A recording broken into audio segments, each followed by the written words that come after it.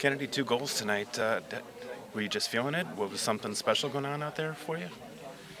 Well, I think it's a great win for us, and uh, you know, it's not all about me. It's all about the team, and we fight very hard. I think we get the result. Is this something the team can keep going moving forward? I think it was a great energy for us right from the beginning of the, you know, the game, and we try to talk to ourselves that, you know, we're good players. We just have to keep going, you know.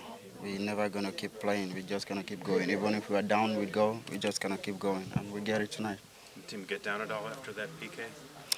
Nah, we get a little bit down, but you know, after the goal, and then the energy comes back, and then that's why we equalize, and then we score again. Do you feel like personally you've kind of turned a corner and you feel more comfortable now with the ball at your feet and just working with the team? You know, playing every game and you know, and also creating chances, it gives you more confidence. You know, you can do whatever you want in the pitch. I think it gives me more confidence when I'm with the ball and everything. So it gives me more energy to work as well too. The team has had some misfortunes on the road this season. Obviously, how do you how do you translate this performance and you know? put those ones together that you guys have had at home and translate that on the road? Like I said, we don't have to give up in anything. You know, we're a team.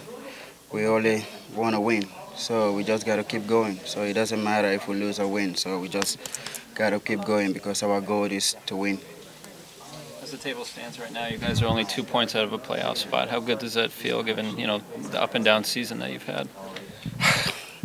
like I said earlier, you know, we, we're never going to keep our head down. All that matters most is three points. You know, we have been losing, been making a lot of mistakes, but I think tonight we are lucky and we played really good. I mean, beating uh, New York is not an easy game, but we fight hard. It's our hard work that pays today. This latest run that you're on, is it a, a matter of getting used to the league and getting used to the teammates, or as opposed to the beginning of the season where you weren't playing as much? Is it uh, just a matter of getting comfortable? Yeah, as a new player, you know, you get you got to get used to your, you know, surrounding around you and everything around you, getting used to your players and getting used to the league. I think now I'm getting used to the league and more confidence. I mean, also like playing most of the game gives you more energy and make you like, oh, you know, you want to play, you want to give out everything. So I think that gives you more energy as well to work with. What do you think of Mikey Stephens' play, particularly on your second goal? Mike, it's a great ball, you know, very good, great ball from him to David, and then he gave it to me, and then one touch. I think he did a very good job. That was a great ball from Mikey.